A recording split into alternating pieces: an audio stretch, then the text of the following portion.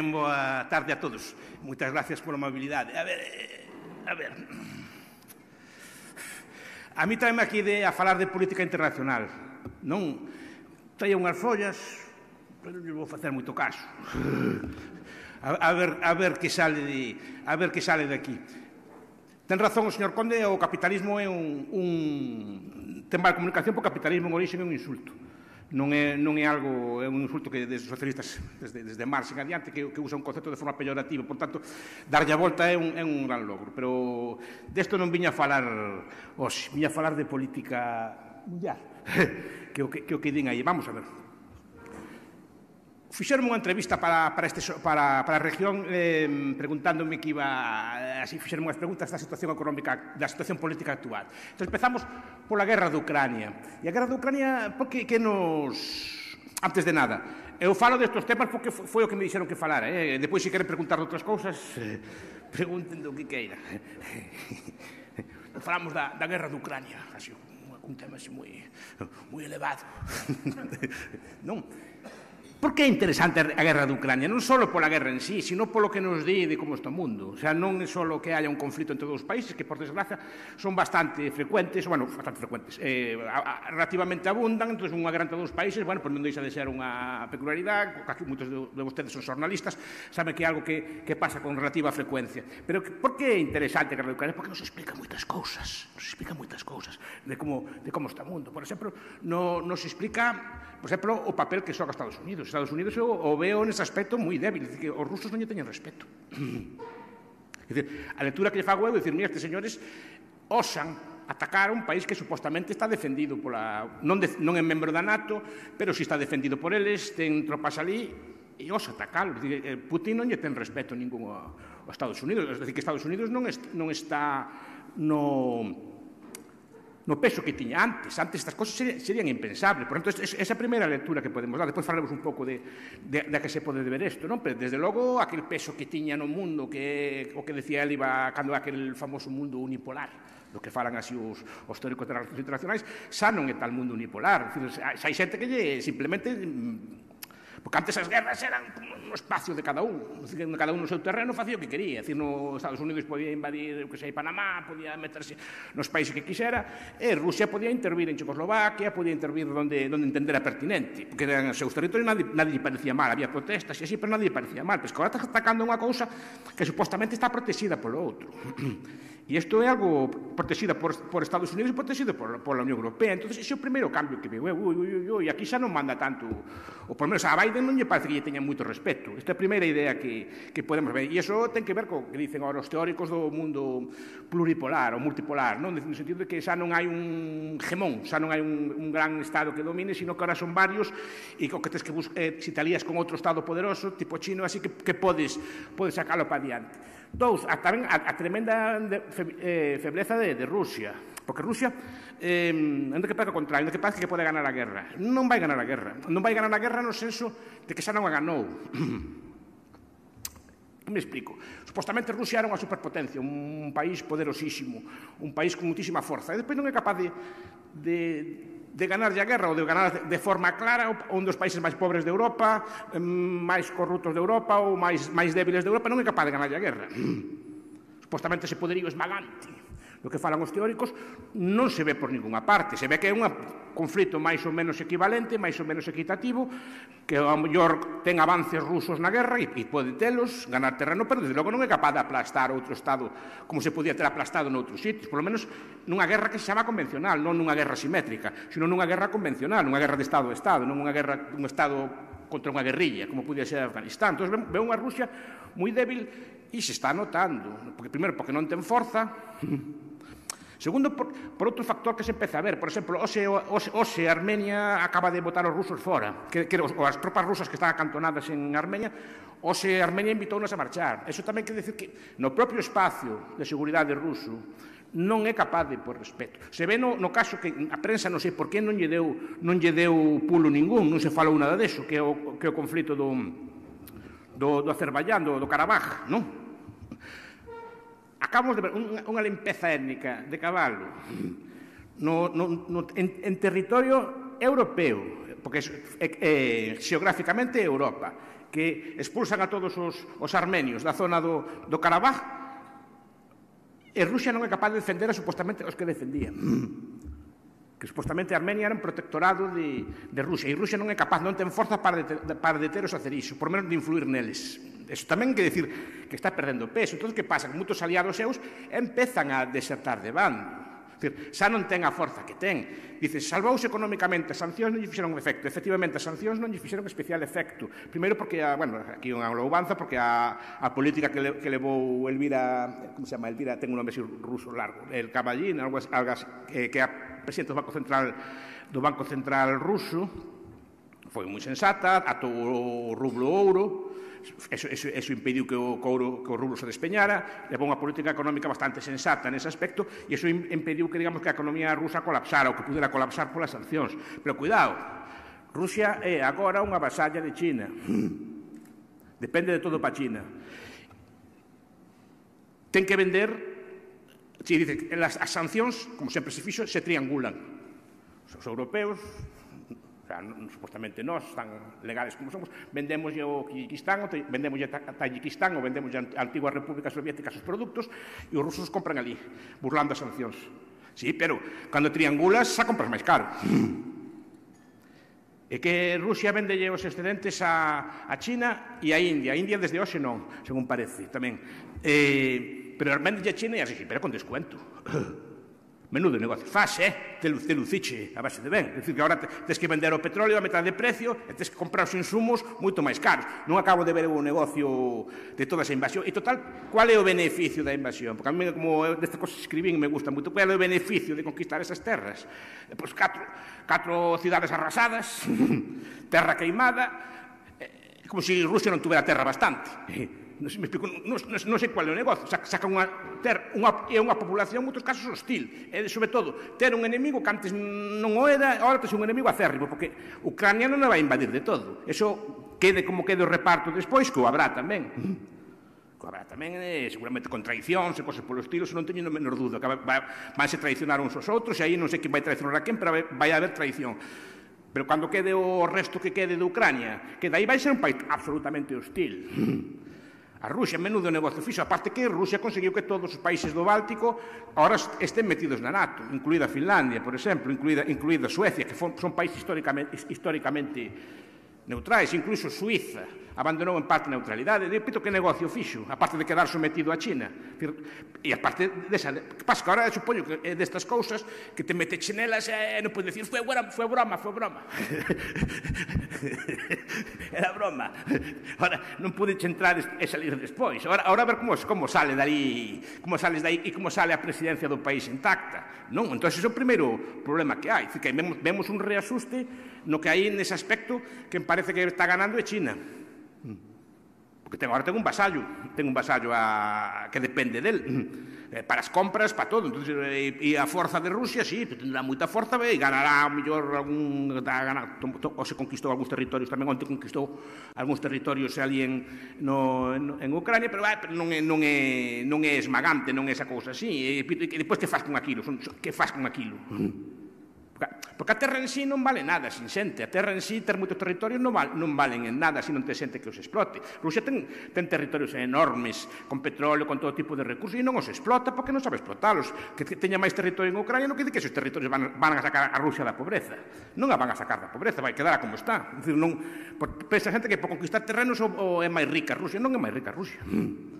Non, non hai ganancia ninguna, é máis, sempre é máis barato e mellor comercial que facer guerras, sempre, saben calquera, pero seguimos, seguimos in, instalados en, en sistemas eh, de pensamento antigos, un pouco de, pois, nese aspecto, un pouco de, de economía austríaca non lle viría mal tamén a estes señores, dicir, non compensa a guerra, sempre é máis barato comprar, sempre máis barato comerciar e mellor para todas partes, a máis ganas amigos, non ganas enemigos, pero esta é a cousa. Entón, esto, repito, isto nos ensina unha cousa de como está Rusia, Gracias. Tamén nos explica como está Estados Unidos. Estados Unidos ahora o vemos ahora con estas cosas de, de bueno, pues, non decadencia, pero desde logo Estados Unidos xa non é o que era antes. Non sei, non sei exactamente a que se debe, si non creo que sea cousa solo de Biden que sea moi malo xestionando que tamén na miña opinión o é, pero pero xeopinable. Pero que dice que non se ve que xa se ve que non ten aquel liderazgo que tiña antes, dicir, porque se lle ríen nas barbas del. Todo, todo o que pasa en América Latina, eu creo que nos anos 50 non sería tolerado. Por moito menos. Fixeron un cambio de régimen nese momento. Non quer dicir, non quer dicir que este ben facer, porque dicir que, estou dicindo que xa, xa non é que non quere, seguramente que xa non pode. Que é moi distinto. E iso é o, é o gran cambio que ves. E despois, claro, coa chegada de Trump, eu creo que boas, eh, eh, nese aspecto pode ser unha boa... Non pode ser mala cousa. Trump ten moi mala fama. E Trump é eh, moi bocazas, fala moito, insulta, é así como moi tal. Pero foi unha persona que nos anos que estuvo non houve guerras. Non, foi o único país presidente nos últimos anos que non iniciou ninguna guerra en Estados Unidos. E en ese aspecto, e, dixo onte unha cousa, unhas declaracións que se estuvera eu, esa, esta, estas guerras que están pasando non pasaban. Non sei como faría, pero isto non pasaría porque xa teria el falado antes, ou xa non sei, non sei como faría, pero é certo, mentras estuvo el, non se fixo nada. E moitos analistas dixeron que se estuvera Trump, seguramente Putin non, non se atrevía a invadir. Entonces, isto é unha cousa, bueno, repito, eu non son americano. Se for americano, igual non me gustaba Trump. Eu non son americano, son un señor da bouciña. e non salgo, e non salgo moito dali. non. E a mí, nos da Pouciño, o que nos gusta é que non haya guerras, vivir en paz e vivir tranquilos. Eu... E ese, si ese señor, ao mellor no seu país, non fai da súa, súa así, me parece moi ben, pero a mí que non me metan líos a min. O problema que de estar metido nesta cosa, claro, nos meten líos a nós tamén. Estamos vendo tamén en relación da guerra de Ucrania que xa está Macro León a, a facer a facer das súas, a querer mandar xa, que xa sai, que xa sai, a mandar tropas a tropas europeas ali Dicir, xa a meter, a acelerar máis o problema. decir, unha cousa que a, que a guerra sea entre eles e a guerra, cando, cando é así, mellor mantela o máis limitada posible. Entre outras cosas, porque queden, que queden forzas non combatientes fora que podan negociar, que podan mediar, que podan chegar a acordos, que haya cosa polo estilo. Cuanto menos difundida este a guerra, mellor, mellor para todos, incluso para os combatientes, porque sempre sempre hai salidas, sempre hai xente que se pode chegar ali no medio e dicir, bueno, está, xa chegou, xa chegou calmádevos un pouco, separádevos e tal, a ver como podemos arreglar isto. Se todos estamos metidos no lío, eso non hai quen o arregle, hmm. non hai quen se meta no medio. Entonces, Eso de mandar unha cosa é axudalos económicamente, outra cosa así, outra cosa é mandar tropas. Aí eu non sou partidario, sinto moito. Non? De, de mandar tropas fora, andar a meterse en líos que non... O quen de vos distingue un ruso dun ucranio? Hmm. Así falando. Hmm. Non? Eu son, nesta guerra son para Ucrania, pero, dicir, pero é unha guerra que seguramente ten claves propias, ten líos propios, ten cousas deles propias que un señor da buciña na súa modestia non entende. non, Ainda que eu ten, simpatizo máis na, co causa ucrania, dicir, met, pero meternos no medio juntámonos nós, juntamos os da Fontaíña, juntamos os da Becerreira, juntamos así, pero non, non creo que pudiéramos axudar moito nese combate. Pata que non, repito, non entendemos as claves. Son todos a mesma religión, son todos a mesma lingua, os, os culturais son moi parecidos e, en, e entre eles, con, normalmente, os que se pelean son os povos moi parecidos, non os povos separados. Eso é normal, se, se pelean por cousas pequenas, eso é normal, sempre foi así. Entre, entre cosas, por eso as guerras civiles son moito máis crudas que as outras, porque os combatientes, cando se insultan, se entenden. Cando falan. cando te un alemán te insulta ou así, pois non sabe moi ben o que, o que, o que está dicindo, entón non, non lle faz moito caso, porque insulta un veciño, sí, que sabe, sabe o que está dicindo, por eso son máis crueles as guerras civiles, porque os insultos e os, e as agravios son reales, son reales Pois digo que esa guerra non debe escalarse. Outra cousa é axudalos, eh, venderlle armas ou, da, ou darlles apoios, pero non, es, non escalala. Me parece un pouco absurdo, porque así empezou Vietnam, primeiro mandamos uns asesores, depois mandamos unha serie de cousas, etc. E despois hasta que se escala, hasta que manda as tropas, e acaba aquilo feito un, feito un Cristo. E, repito, mentras se podan manter moderada, mellor. E iso é o mellor, non, non, que ser valientes, o sea, que el alma de Europa, el alma de Europa que non sei cual é, non sei que nadie me explicou aínda. non? El alma de Europa. sei que me gustaría sabelo. Qual é, onde está escrita esa alma de Europa, porque non sei en que consiste esa alma de Europa. Todo o mundo ten o moi claro. Que se outra. Entón, vemos que Estados Unidos está mm, débil relativamente. Non quer dizer que este débil, está débil relativamente. De ser o país máis potente do mundo, ahora, digamos que é un, un máis ou máis forte entre moitos. Pero, se xuntan outros moitos contra ele, lle poden. E a disuasión nuclear non funciona porque agora ten armas nucleares case todo o mundo. Entón, digamos que a esa é a ventaxa da arma nuclear, que non se use, ao final non acaba por non usarse. Non? Temos a todo o papel da Unión Europea. Eu, despois queda po debate, se queren. Eu, eu, eu son europeísta, moi europeísta. Por tanto, estuve en contra da Unión Europea. sí. É unha paradoxa. Quer dizer, eu defendo o mercado común. A ver, Europa ten un rasgo que estudiaron os historiadores desde fai, desde fai moito tempo, é que Europa, unha peculiaridade, Eric Jones, ou, ou sei, Jan Baechler, ou Joel Mock, ou, así moitos historiadores descubriron que Europa ten unha peculiaridade que non ten outros povos do mundo, que nunca, xa máis na súa historia estuvo unida. Xa máis. Xa máis. Por eso lle foi ben. Non, non, es que, fíxense, incluso Eu non son imperialista, pero a Europa, digamos, que, do, que é un referente cultural a nivel mundial, é un referente económico a nivel mundial, que desenvolve a revolución industrial, desenvolve un montón de pensamento filosófico, é unha Europa fragmentada, non é Europa unida. A que estaba unida era a China, e parece ese o modelo que, que queremos ter, porque China, en cuanto uniu, empezou a lentamente decaer. caer. A China floreciente era, era a China que chamaban dos reinos combatientes, a China que estaba fragmentada moito, toda, toda a filosofía clásica china que estudiamos ven en boa medida daqueles tempos, porque estaba, había moitos estados, se florecían, combatían uns cos outros, pero, se, pero había moita como fermento, había competencia entre eles, había liberdade, non? É o que chaman así os historiadores as constelacións de estado. Pois éxito de Europa histórico foi estar sempre dividida. en moitos estados. Dicir, que non houbera un rei que pudera aplicar toda a mesma lei ao mesmo sitio. Que si que non pudera censurar todos os libros dun continente, porque en Europa si sí, había censura, había censura no, no Reino de Castela, había censura, tempos de Felipe II, vale, pero nos Países Baixos, en Francia, en, Ola, en outros sitios, no. Entón, bien os libros de lá. Se si un país cometía un erro, pues, non se lle copiaba, se si un país facía o ben, os demais lle copiaban. E se generaron espacios autónomos de liberdade. Bueno, pois, pues, e iso tiña unha lógica, e iso tiña, por exemplo, a lógica do mercado común estaba ben. O mercado común Pois era un acordo moi bo de que os países europeos se juntaban entre eles e deixaban, por exemplo, que as, as mercadorías circularan, que circularan as persoas, que circularan os capitais, pero non había unha unión política, non había unha superestrutura política. A xente pensa, e iso foi o, gran, o grande éxito da Europa de, da posguerra. Pero despois hubo unos, esas cosas de Maastricht, estas cosas que se fixeron nos 90, de que había que... Ever a closer union na felizmente derrotada Constitución Europea, non? de que había que eh, isto, crear unha unión política. E pasa que a unión política que se crear primeira por medios económicos creando primeiro a moeda, creando institucións económicas para que despois crear unha identidade europea común e despois que se collera a Europa. Pero iso creo que foi un erro. Pero repito, porque Europa, no seño de Europa non está estar unido. Fíxese outro detalle, Europa foi un continente que nunca foi invadido desde fora a gran escala, me refiero. Nunca foi conquistado desde fora. E, e a fragmentación ten moito que ver neso tamén. So decía Eric, eh, Walter Schleidel en Escape from Rome, decía, o mellor que lle pasou a Europa foi a caída de Roma.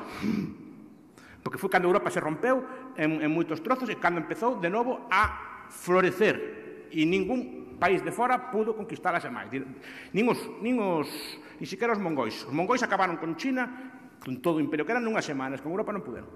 Non puderon, non puderon cos castelos. Non, non sabían pelear contra un castelo. Contra os miles de castelos que había en Europa, contra esos non sabían pelear. Sabían pelear en campo aberto contra grandes exércitos. Contra os castelos non podían. Non sabían os cabalos que facer naquela cosa. Se volvían todos, E eh, non vai chegar a Hungría volveron para atrás. Porque estaba dividida. Non estaba unida políticamente. E, curiosamente, esa fragmentación política deu lugar pois, a unha cultura común, a, eh, a, a, a formas morais e costumes comuns, a unha literatura común, a un pensamento común, a ser cosas comuns. Por exemplo, o diñeiro, históricamente, nunha Europa de medida, ten que ser único, por forza, paradoxicamente. Porque o seu conde de Rivadavia se lle ocurre facer papel moeda, que lle pasa cos do Carballiño? Que non lle collen, ou, ou o conde de Rivadavia paga con ouro puro ou con moeda pura ou non lle acollen, ao final iso ten, ten que falar así ao final a moeda era universal en toda Europa. Ao final o idioma era común en toda Europa, porque o idioma ao final era o latín. Cada un tiña a súa lingua, pero pa, para ler libros e cosas polo estilo usaban o latín e ao final cualquier individuo estudiante medieval podía ler calquer libro escrito. E o dereito tamén se estendeu de forma común. Porque a fragmentación une E a Unión fragmenta. non? Pois eu digo que ese éxito, a Unión Europea leva, como tal, a Unión Europea leva 30 anos, máis ou menos, como Unión Europea. Non como mercado común, que a xente se confunde, non é o mismo. A idea non é a mesma, e a xente atribuye os éxitos do mercado común á Unión Europea. A Unión Europea do ano 92 empeza a facerse eso. Bueno, cual é o gran éxito de Europa desde aquel? A ver, que fixemos? Que fixemos? Digo, non, con esa cosa tan grande, esa tal, que fixemos? Porque eu pregunto na clase, a rapazallada, pregúntolle, e vos rapaces eh, desos trastos, os cacharros que levades vos aí no bolsillo, esas cousas así que tedes así, esas tablets, e estas cousas que, que levades en riba, e estas cousas así, quantas son feitas en Europa?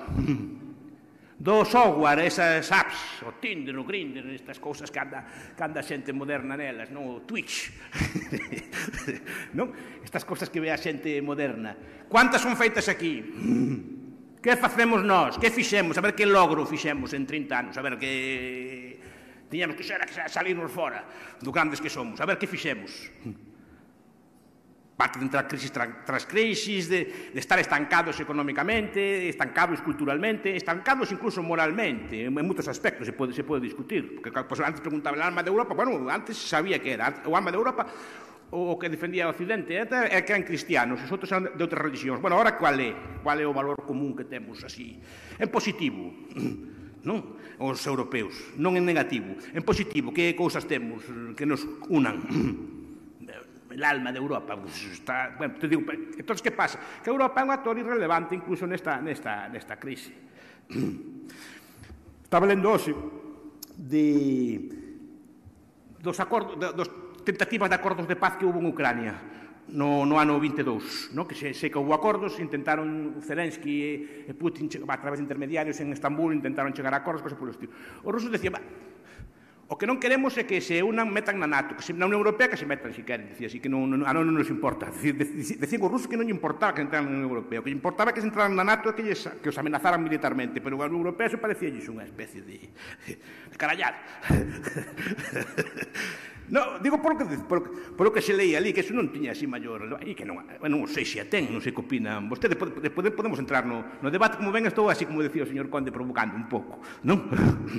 que deso, deso se trata. Decir, pero non acabo de verlle o, a, o peso que ten, repito, Putin parte que moito medo non lle estén tampouco. A parte que é unha humillación moi grande. A xente deulle pouca relevancia. O Nord Stream, É unha humillación, porque foron os, foron os americanos que literalmente destruen unha infraestructura europea, un gasoducto bastante caro, por certo. E digo que son os americanos porque quen outro usaría atacar unha infraestructura alemana? Que outro país osaría atacar unha infraestructura alemana?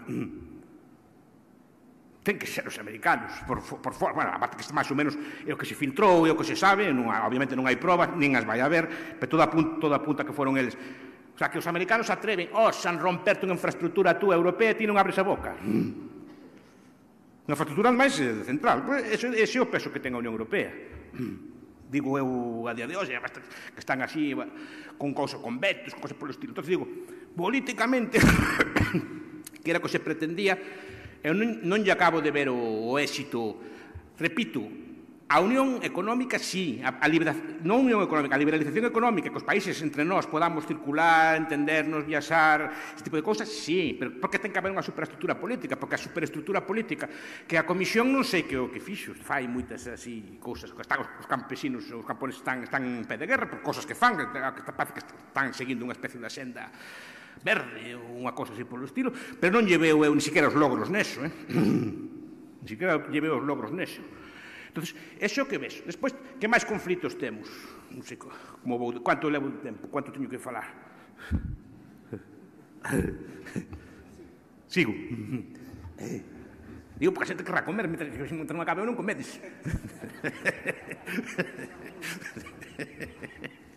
eh, eh, Pois está o caso de Israel, que tamén nos, nos ilustra moito de, de, como está, de como está o mundo, de como están as alianzas, estas cousas así. E Israel a ver, é un, é un tema que non estou nada cómodo porque non te, é un tema que non teño postura clara, non sei como é. So, so, todo apunta a que é un, foi o atentado do 7 de outubro e os crímenes do 7 de outubro foron unha especie de, de provocación. Non, non se explica de outra forma. Un atentado, faz ali, faz, faz daño, te marchas, e, pero non o filmas non te recreas, quero dicir, non, non é isto, isto é unha cousa para pa provocar, para decir, mira, tedes que atacarnos porque sí, mm. non, non che dá outra opción, decir, non é un atentado, unha bomba que pos nun sitio, unha cousa así, que despois non queda moi claro quen foi, non foron ali, filmaron, gravaron, exhibiron tal, non sei, me explico eso, é, decir, é casi unha provocación, digo, como podes provocar, porque aí está a cuestión, decir, jamás é unha semi-guerrilla, semi-estado. Non se sabe moi ben o que é. Non, non chega a ser un estado, pero é unha guerrilla como un grupo terrorista ou, ou como queran chamar unha milicia. Unha milicia das que Irán ten moitas, non? Unha milicia mmm, pois, pero ataca, ataca como unha milicia, pero un Estado, cando ataca, ten que atacar como un Estado. Digamos que o Estado, os Estados non poden modular a forza decir, unha, isto explicou nun, por certo, un, un teórico militar israelí que se chama Martin Van Krebels, que, que, que, que analiza moi ben estas cousas, incluso analiza isto de que Israel que, como que se está equivocando, equivocándose militarmente, no senso de que é moi difícil, os, os estados cando atacan, atacan de forma, digamos, mm, como ruda, atacan con todo o armamento que teñen, atacan con avións, con cosas polo estilo, e non modulan, e, e claro, aí nese tipo de guerras pagan sustos por pecadores. Entón, claro, eso ao final desprestixia moito o país que ataca e ao final pode voltarse contra el, que supoño que sea a estrategia original, que se nere tanto reseitamento no resto do mundo que os aliados de Israel, incluso os Estados Unidos, se empecen a apartar un pouco del ou que cree, mm, digamos, desconcerto entre os seus e que aqueles que podían aliarse nos acordos de Abraham, como son Arabia, como son os países do, do norte de África que son aliados, porque se empezan a apartar de ti, que supoño que a estrategia están, están en parte conseguindo. Por que? Porque un Estado non pode modular. Para pelear contra unha guerrilla hai que combatir con outra guerrilla ou con algo semellante. Non, contra, non, con, non con un Estado, porque o Estado precisamente pola forma de, é como estos piratas que hai, non? Utis, outros piratas que hai. Ti non podes atacar un, a un pirata que vai nunha zodia ou que vai nunha, nunha lancha rápida cunha fragata ou cunha corbeta. Tens que buscar algo semellante, porque senón está como moi desproporcionado e é, é inútil, moi costoso e inútil porque non eres tan ágil como outro. Entonces, o Estado de Israel ataca como sabe atacar un Estado, da forma que ten que atacar un Estado. Pero claro, eso que xenera moito, moito problema e xenera moita, moita confusión. E claro, despois xenera desordens na zona. O que vexo tamén é, por exemplo, que os amigos de Palestina non ten tantos como pensaba. Eu, eu primeiro que me estou dando conta que todo o mundo fala e todo, estamos con vos e, adiante, e, depois non vai nadie.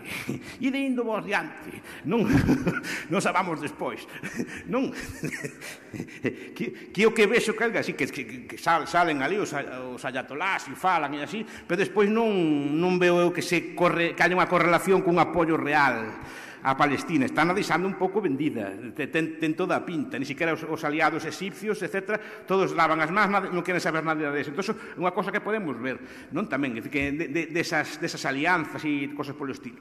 E aquí tamén, decir, aquí eu, eu creo que é un conflito que a mí, por menos, se me escapa, ten tantas raíces, tantas derivadas que se me escapa, creo que a postura neste aspecto do goberno español a mí pareceme correcta, decir, estás, estás co teu socio, pero tampouco te, te mollas moito porque tampouco entendes moito a clave. Eu creo que, eh, ao igual que Pedro Sánchez non me gusta moitas cousas, nestes aspectos a min convénceme máis. Repito que non son especialmente xa, que non son moi partidario de Pedro Sánchez, da, xa, se me entende. Pero dito isto, hai cousas neste aspecto que sí, sí que me parecen, eh, tanto en Ucrania como aquí, que están facendo ben. É dicir, non está botando gasolina ao lume, sino que está intentando apaciguar e iso me parece, me parece ben. E despois quedaría todo, todas as, estas olas populistas ou eh, que, hai, que hai no mundo, pois desde Trump, que xa, xa máis ou menos comentamos, a, pois a Milei, que me preguntaba Martín antes por, por Milei, Decían, no, pois Milei, a ver, a Milei me chama a atención. Primeiro, unha cosa que me gusta matizar. Parece como que se Milei ou así sale dunha forza histórica, ou que, como que é necesario. Eso é o típico discurso sempre do marxista, no de, de como cae como unhas forzas que sobrepoñen o ser humano, que te conducen e que Milei tiña que salir porque a situación argentina é esa e tiña que votar por eso. Non, podía votar outra cousa perfectamente. Podían salir por máis socialismo perfectamente, podían salir por outras ideas perfectamente. Non ten por que salir por ese tipo de solucións. O que, o que sí que creo é na mm, na vontade. Dicir, este señor chega ali, mira que a Argentina, a Argentina hai, hai unha, unha cosa, hai un estudio que son enquisa de valores mundiais. Dicir, en que medida mm, a xente pues, apoia pues, eh, cousas distintas. No? Por exemplo, hai estudios de, que, de, de cuánto a xente apoia o capitalismo, por exemplo. España saben que dos países máis de anticapitalistas da Unión Europea. Da Unión Europea non, do mundo, perdón. O sea, Non é que, non é que o país non sea capitalista, é que a mentalidade da xente, da xente común, cando preguntas a xente, é radicalmente anticapitalista, no sentido de que é unha cousa que non, non a ben ben, incluso a palabra, como antes se decía, está denostada, e que a xente, pois, as, as solucións de mercado non gustan. Se parece que a idea de intervención pues, en algúns países. Eso cultural. En cambio, paradóxicamente, o país máis capitalista do mundo é Vietnam Non porque sea capitalista, está gobernado por un partido comunista, sino porque a xente é capitalista. Pero a Argentina tamén, a Argentina tamén conta entre os países máis anticapitalistas do mundo. O ah, contaba. Pero chega este señor nun país que sociolóxicamente, como pode ser España, é anticapitalista, o sea, que a maior parte da xente dices de máis capitalismo e protesta, eh, chega e vende un discurso non só capitalista moderado, sino capitalista moi duro e perduro e non vendendo eh, máis subsidios, máis axudas, máis justicia, máis progreso, máis democracia, máis igualdade, máis justicia social. Non? Traballo, sacrificio, sudor, recortes e gana. Pero por qué? Porque o ser humano, se se pon, é capaz tamén de crear seu propio mercado. Si, si nos poñemos, e ti defendes unha idea, defendes uns valores, como defende el, como, como os fai, é capaz de crear un mercado para cousas supostamente invendibles. e máis invendibles no país máis anticapitalista do mundo e capaz de vendelas e capaz de que a xente aplauda cando dice que vai recortar, que vai quitar subsidios, que va, va, vai haber que traballar máis, que vai que haber que asustar o cento, que non hai cartos, que non hai plata. E o di e o vende. Vendería aquí. Repito que son países que a solución fácil é o máis axuda, máis tal, vamos darnos unha tal, máis subsidios, non, dito todo o contrario. Outra cosa que o faga, xa, xa é distinto, non? Pois hai que, hai que ver como o que pasa despois. Pero digo que no mundo das ideas, no mundo da política internacional, non hai como forzas cegas, pode haber forzas, pero non son cegas, dicir, se crean, se poden crear, igual que se crean mercados de cousas que non eran que antes non supostamente non eran vendibles. Eh, por exemplo, A mí me decían cando eu estudiaba que o textil non tiña futuro na Galiza, que se iba a facer todos os chinos. E tiña lógica. O que decía lógica económica, que esos produtos... No, pois pues aquí se creou un, un emporios textiles, fabricantes textiles fantásticos. E porque non, non tiña... Pois pues, saliu aquí porque xente que se puso a traballar e fixo, punto non esperou a que unha fuerza, unha dinámica, non sei que, geoeconómica ou geopolítica. Non, se puso, pois mirei o mismo, no país máis antica, un dos países máis socialistas culturalmente da Terra, se puso ali, vendeu un discurso, foi capaz de abrir mercado, foi capaz de usar tamén as tecnologías modernas e salir adiante. Outra cosa que faga, se o fai ben ou fai mal, é outra cuestión, se lle deixan facer ou non lle deixan facer. Pero esa é a, esa é a idea. Bueno, ahora xa deixo comer tranquilos, senón bastante maturaron. Despois, despois de comer quedan para as, para as preguntas que dou a súa disposición. Moitas gracias.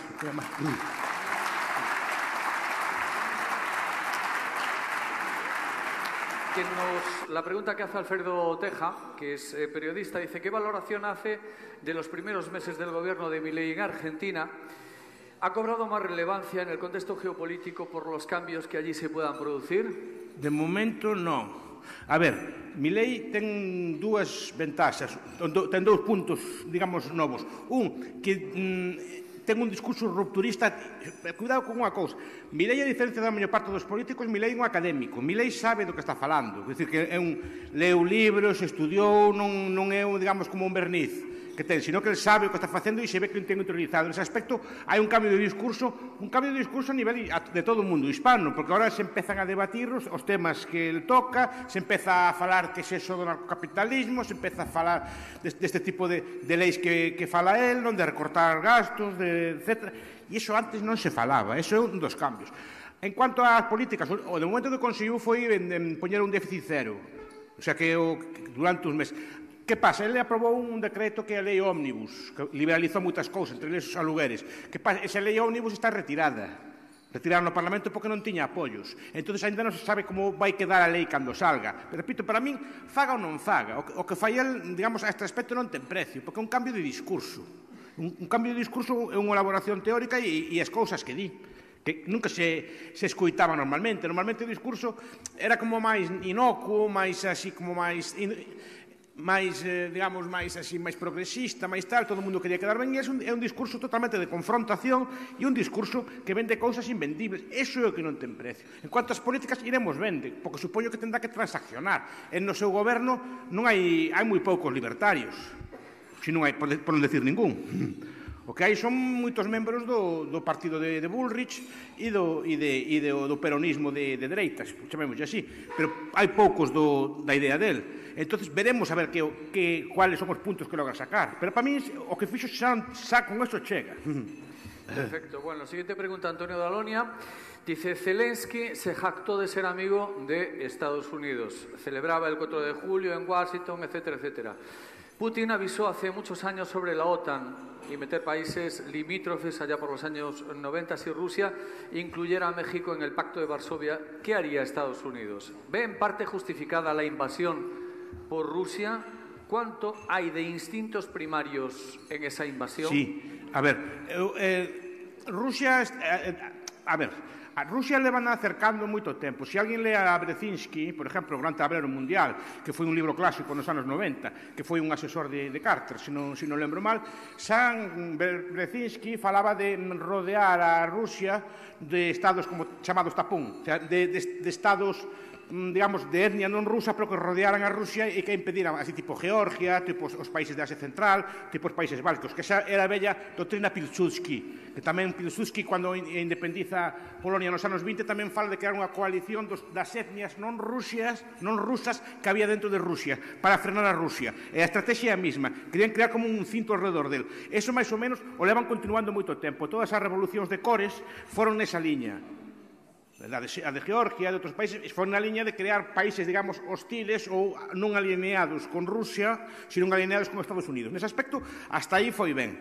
Foi ben que te que unha estrategia seguida, ben no sentido que a mí non me gusta eso. Entón, Rusia se sentía como acosada e, de feito, o que se debatía era se si Ucrania entraba ou non na OTAN. E iso, digamos que era o campo de batalla principal. O ruso que temía é que a 100 km de Petersburgo eh, que tuveran bombas nucleares ou armas nucleares ou armas de... de E, entón, respecto, digamos que unha das cousas da guerra é esta. En cuanto de México, sí, Estados Unidos actuaría igual que Rusia, pero tamén condenaría. Que faría eso, sei, pero que estarían dicindo moitos que defenden a Putin se Estados Unidos invadira México. Estarían, estarían dicindo o mismo que dice que, dice, que ou non, no, non? se invadira, Estados Unidos invadiría México, estou seguro, sin a menor duda. Pero supoño que a esquerda entonces protestaría, que é imperialismo, que é esa cosa, pero entonces, se o fai Rusia tamén é imperialismo. Non? Entón hai que condenar os imperialismos. Eu son moi antiimperialista. Decir, estou en contra da intervención do mercado da patata, estou en contra da intervención do mercado da cebola, non vou a estar en contra dunha intervención que leva mortos, que leva centos de, centos de miles de millóns en gastos e que mata xóvenes. Tendré que estar máis en contra das intervencións do Estado nesos ámbitos que non da cebola. non? Que pasa que moitos parece que é o revés, parece que o mercado da cebola veno moi mal, e cambio outro veno moi ben. Eu creo na paz entre as... Eu creo que se unha das cosas para as que defendo o capitalismo o mercado é porque trae paz. trae comercio e trae riqueza. E donde hai comercio, digamos que se dificulta que haya guerras. E son as razóns polas que defendo. Non só é porque crea riqueza ou cosas por estilo, sino porque é unha forma pacífica de entenderse entre os povos. Non todo ten que ser a base de guerras. Vale. Eh, José Luis García Laje. Buenos días, profesor Bastos. En una transición hacia un modelo socioeconómico más liberal, más mm, minarquista, más anarcocapitalista, ¿cuáles serían las diferentes etapas o fases que podríamos esperar? Muchas gracias. A ver, eu creo, a ver, es, es que eso é moi, eh, moi difícil. Eu creo que para ter, para ter o minarquismo, o liberalismo, tens que pedir anarcocapitalismo, que é o que está facendo mi lei. Si mi lei fora de liberal clásico, fora de minarquista, pues tendría o que ten agora. Tendríamos, digamos, como seguiríamos como estamos agora. Porque gobernos liberales, gobernos así de goberno mínimo, tuvemos un montón deles, e non se fixo gran cousa. O propio Reagan, o propio Thatcher, que tanto se fala deles, cando se retiren eles do poder, o gasto público total era maior, non menor. Entón digo, pero es, esan os liberales. Entón digo, para ter algo de liberalismo, mellor hai que pedir o anarcocapitalismo.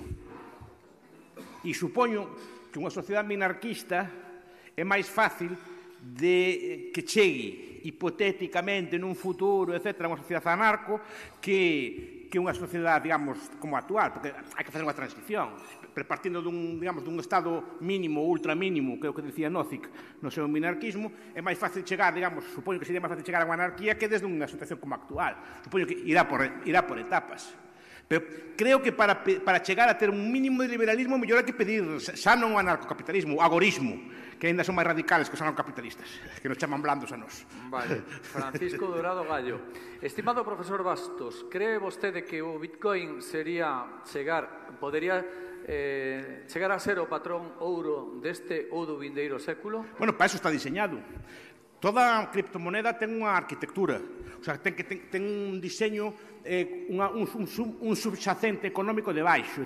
O problema de moitas criptomonedas que hubo antes do Bitcoin é que a arquitectura teórica que tiñan, por exemplo, era tipo Chicago, era tipo keynesiano, era tipo outra escola. O, o, o que fai Nakamoto cando inventa o Bitcoin, xa quen sea ese señor ou o grupo de señores, eh, imita a arquitectura do ouro. Se fixan é o mesma. Primeiro, a cantidade é limitada, como ouro na terra. E crear diñeiro novo hai que minalo, hai que picalo. Exactamente como no ouro. E a cantidade está limitada. Entón, non se pode, un, con sistema de, de Platón Bitcoin ou de Patrón Ouro non se pode crear inflación, porque non se pode crear diñeiro da nada. A diferencia dun sistema de diñeiro fiat ou, ou diñeiro, como que temos agora, que simplemente hai que crear diñeiro, hai que inyectar diñeiro na economía. Vai o, ban o banqueiro central, escribe ali nunha cousa, dalle enter, ta, e xa está. É así de simple. E así se crea o diñeiro, pero así se devalúa o diñeiro tamén. Ora, eu confío, me fío máis do ouro que do bitcoin. Por, por moitos motivos. Pero o bitcoin, claro, é, é, un, é unha imitación do ouro e por eso triunfa. Porque é unha imitación do ouro. E é unha, unha moneda sin base estatal. O, sea, o diñeiro non depende de que un goberno lle dé o sello de válido ou non. Vale porque a xente o acepta. Entonces, aí o está, veremos se triunfa ou non. Eu prefiro o ouro como, como, como os austriacos vellos. Digamos, prefiro, prefiren o euro que o Bitcoin. Pero o Bitcoin, digamos, que é unha moi boa imitación do, do sistema ouro. Ajá. Eh, Miguel Sánchez, empezó usted hablando de las debilidades de las dos grandes superpotencias, Estados Unidos y Rusia, y de sus invasiones y guerras ganadas o perdidas. ¿Para cuándo la primera invasión territorial de la tercera en discordia, China? ¿Y qué pasará entonces? A ver, China ten moi mala prensa. A ver, China ten... Mira, China desde o ano 79 non está en ninguna guerra. No ano 79 tuvo unha pequena guerra con Vietnam. Estados Unidos de 79 para cá eh, tuvo bastantes máis guerras que tuvo China. China, o povo chino non é un povo guerreiro. Históricamente non é un povo guerreiro, ni siquiera un povo que, digamos, que culturalmente valore moito, digamos, o militar, o lle de moito preso, prestixio, digamos, o militarismo, etc. Entonces, eu non veo, ora, non veo, por exemplo, unha invasión de Taiwán, que é o que está, supoño que, discutíndose. Non veo, porque supoño que calcular, digamos, a ver, que ganamos nós con Taiwán. Primeiro, se invadimos Taiwán, qual é a ganancia? Porque as fábricas que hai ali de chips, que, que é o que máis valioso teñen, sábese que se invaden os chinos as dinamitan. Xa está, xa está pensada para explotar en caso de que cheguen os chinos, que é o que levan dali. Máis xente, se ten, xente teñen a punta pala, que é o que levan dali. Que é o que van de levar dali? Invadir unha illa que, que, que, que recha de todo. E, e a poboación que probablemente é a máis cualificada dela en cuanto pode escape. Entón, onde está a ganancia deso? Eu creo que son máis astutos e creo, creo que van deixar que eso se integre solo Co tempo, cando China prospere e cando non, hai, cando non haya grandes diferencias económicas, probablemente se integre. Ora, eu non se pode descartar nada, porque xa, eu, eu tampouco pensaba que iba a haber guerra en Ucrania. Eu pensaba que non iba a vela, e me equivoquei. Pero a mí todo me apunta que China non ten interese en desestabilizar, por exemplo, todos os mercados que ten. Os seus clientes son occidentais. Unha guerra con Taiwán pues, distorsionaría mucho, moito o mercado. Eh, pondría locos as, as bolsas, pondría locos os mercados, non creo que os fondos de inversión chineses tampouco lle interese tanto para unha ganancia tan exigua, non?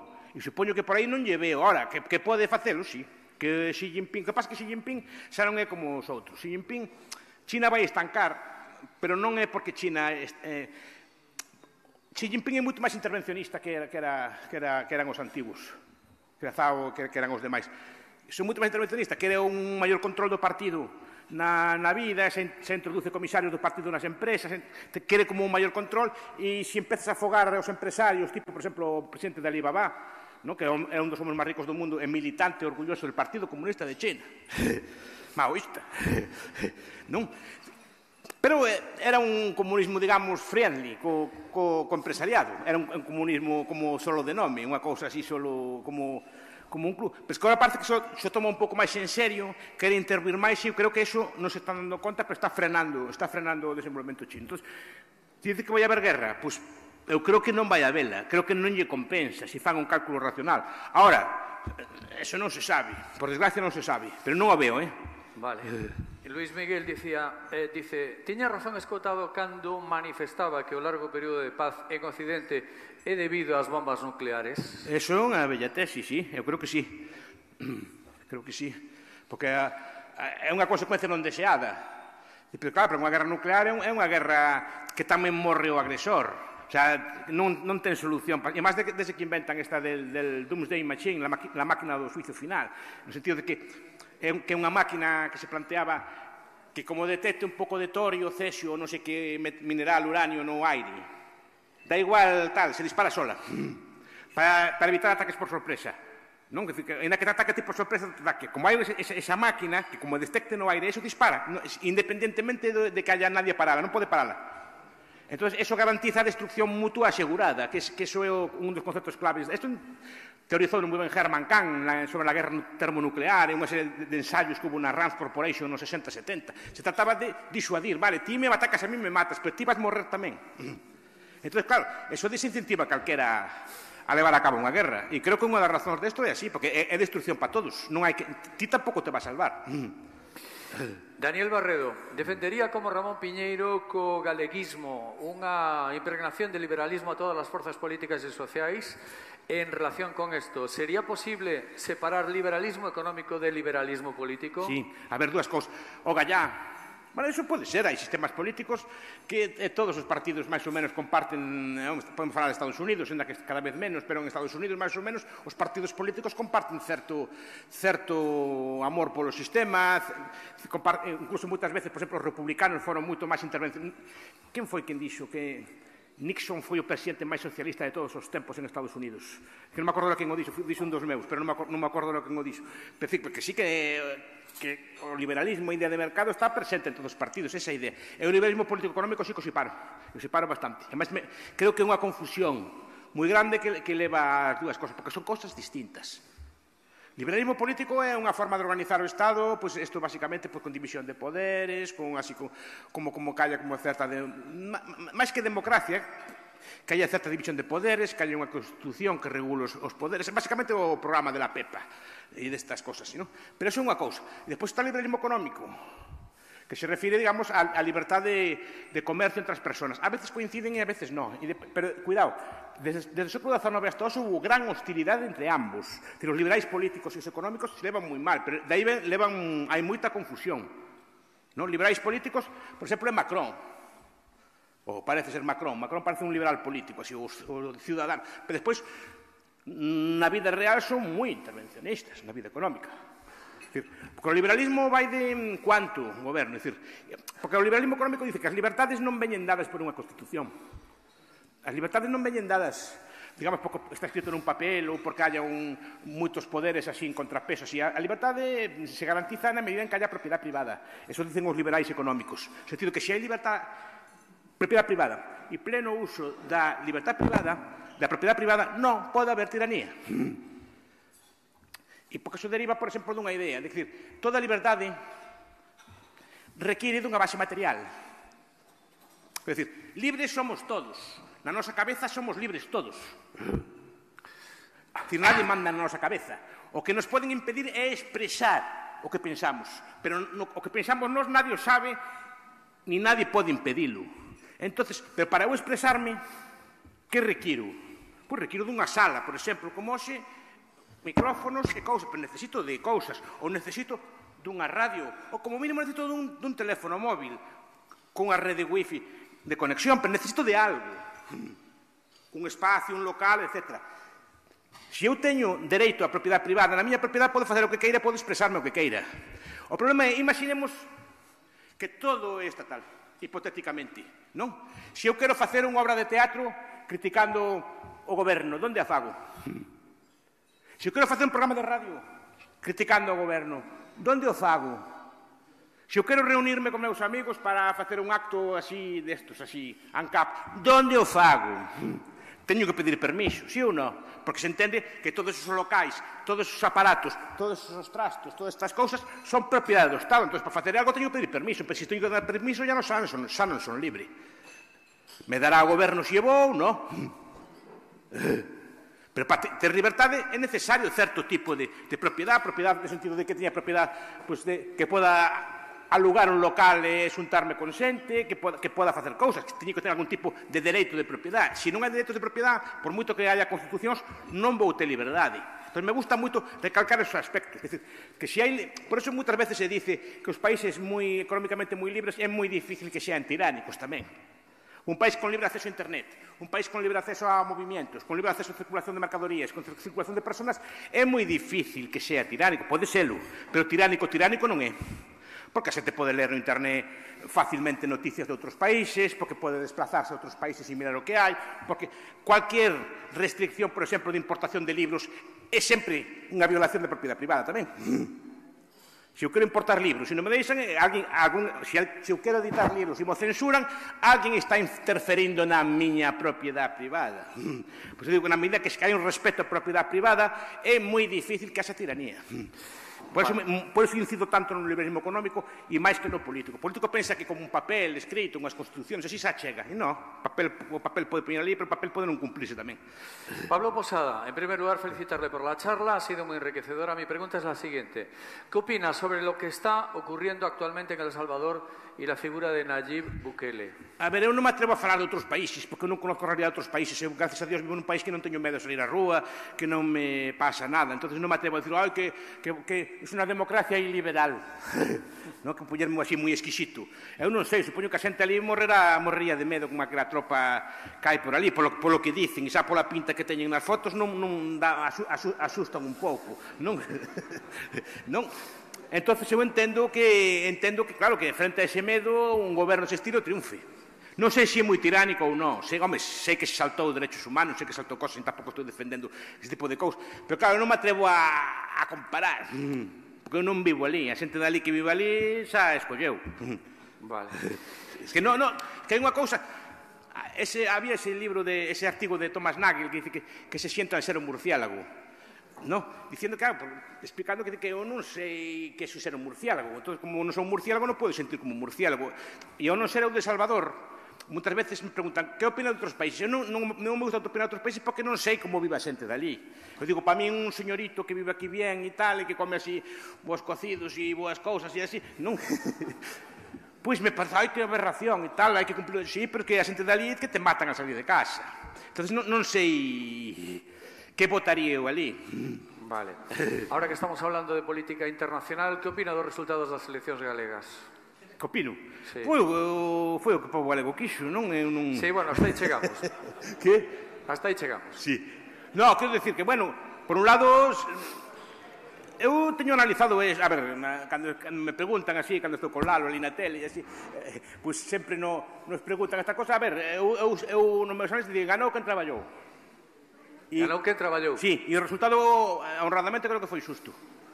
Porque tanto PP como Benegal levan anos traballando, levan... Te gustan ou non as ideas, aquí non me meto coas ideas de ninguén. Pero levan 4 anos traballando, levan 4 anos achando ali, e todo o día bum, bum, bum, bum, bum, bum, bum, bum, bum, bum, e é normal, non pode chegar un señor uns días antes e... e máis, máis justicia, máis progreso, máis democracia, máis igualdade, máis... Fiquen, sei E, xa e, e, No, digo porque os, os, os, os argumentarios de campaña son así máis desta vai, máis centrado, tal, pero non, repito que non é unha crítica ao, aos señores que me son simpáticos, que digo que non pode chegar un mes antes, un mes antes pensa e ganar xa, porque chegas ti que che fan, che fan unha campaña moi boa, que tamén a campaña é importante, que a campaña por menos do bloque foi moi boa, para mí, para mí, meu entender. Pero eso reforza o que xa hai, reforza unha tendencia, pero non, non podes pretender chegar un mes antes e ganar. E, o, e iso pasa a varios partidos, pasoulle, creo que a Sumar e pasoulle tamén, o, creo que a Vox, que decimos, claro, non, digo, non estou criticando as ideas de ninguén, repito, estou dicindo que non podes chegar a unha campaña coa campaña xa empezada, xa convocada as eleccións, 15 días despois presentado un candidato. Porque hai que traballar, hai que levar atrás. Entón, nese aspecto, me pareceu susto que ganara que máis, digamos, atención lle dedicou o, o país. Eso, eso, eso é o resultado, e o resultado se corresponde moi ben co, co que é o país. O que pasa que Galicia é moi extraña moi extraña e sorprende moito, porque, porque os sectores máis galegofalantes, máis nacionais, son os que máis votan PP, e os sectores máis españolizados do país son os que votan nacionalismo. É, unha, é un país moi, moi curioso. Non sei, cuanto máis español se fala, máis se vota BNG, e cuanto máis galego se fala, máis se vota PP. Pero é un país moi curioso, porque os cataláns non, non o entenden, non o entenden como pode ser así, porque en Cataluña é, é ao revés. Non? E que é un aspecto curioso, que, que é difícil de, de os, que somos, os que somos daqui máis ou menos entendemos como é o país. Pero explicalo fora non é tan fácil. Porque ao final é, é casi máis nacional, non nacionalista, máis nacional. O PP co BNG. Vale, e agora sí, internacional, internacional. Lei de amnistía. Vamos a ver, eu digo unha cousa que tamén digo sempre. Chámalle lenda amnistía. Se chegar o PP, eu digo así, iba a ter algo parecido. Non con ese nome, probablemente o farían dunha forma máis sutil, pero, porque por un motivo, e isto xa me vou a poñer en clave ANCAP, normalmente os delitos dentro da clase política son tratados de forma distinta que os delitos por a súa población. Digamos que entre eles, digamos que tarde ou temprano sempre acaban eh, porque son parte deles, porque ao final se conocen, son compañeros como de clase, están todo o día ali, eh, home, está ben e tal, pero non va, non va, digo unha opinión miña, pero que, que pasan todo o mundo, eh? Pasan todo o mundo. Eu veo que os presidentes de Francia están imputados casi todos. Eu creo que todos que están vivos están imputados todos, ningún entrou na cárcel. Non? Veo que en outras comunidades autónomas hai condenados que tampouco entraron na cárcel. Non? Digamos que, ao mellor, eh, o que, o, que, o que falla nesto é a forma, e que tamén é importante, eh? o que falla nesto é a forma. Pero no fondo non teño dúda de que isto había que arreglarlo de alguna forma e todos, e digo todos, e ao mellor me equivoco, o arreglarían. Mm dunha forma ou de outra, mellor dunha forma máis fina ou de outra, non chamarían amnistía, chamaríanlle indulto parcial ou prescripción ou reformulación del Código Penal, ou cosas, fari, se, se fai alguma cousa desta. Pero creo que máis ou menos todos o farían, porque, porque, a ver, a ver, De acordo, eu entendo que de acordo coa legislación española Puigdemont isto cometer un delito. Pero claro, non queda moi ben a un presidente dunha autonomía escollido democráticamente telo preso, porque senón isto parece máis ben Turquía. de feito, si sí, delito, pero como que non algo que, que non queda moi ben. Non sei se me explico, porque en Turquía tamén o líder da oposición está preso e, e tamén por, su, por suíces e de acordo coa lei turca. Nada cosa tal. Pero non queda moi ben. Non estou dicindo que os turcos prevariquen, pero a lei turca é así, e o líder da oposición, está, un dos líderes da oposición, por menos están, están ali detidos. Pero que non queda como ben. Non se me explico. A xente enténdeche, pero non queda así como... Porque, sobre todo, despois de que, por exemplo, en Escocia votaron unha cousa parecida, votaron un referéndum e non pasara nada. Entón, non podes decir que aquí van levar preso un señor por facer o que fixeron en Escocia.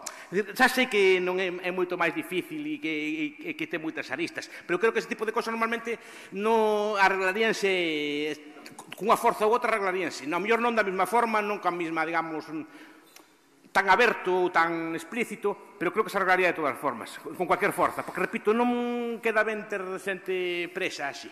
Eh, tan estético. Eh, sí. Eh. Bueno. Señor Bastos, pois eh, foi un placer escoitalo, sí. eh, foi un placer telo de convidado hoxe no foro La Región. Moitísimas gracias. Gracias a vos, foi unha, moi amable. Gracias, gracias.